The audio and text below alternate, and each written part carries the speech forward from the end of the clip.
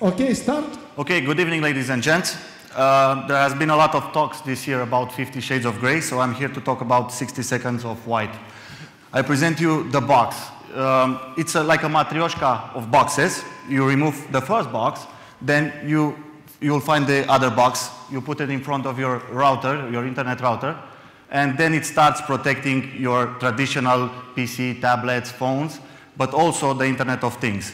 It is the first security hardware that protects, first security hub that protects the Internet of Things. So in the future, the box will make sure that your smart TVs, your smart um, fridges, uh, whatever smart appliances, or even the gadgets that you've seen before, will not start calling erotic lines or ordering pizza. They will do their actual job. And it will also protect you for any online threats that you can uh, find. And it doesn't block, uh, block any porn sites. Thank you.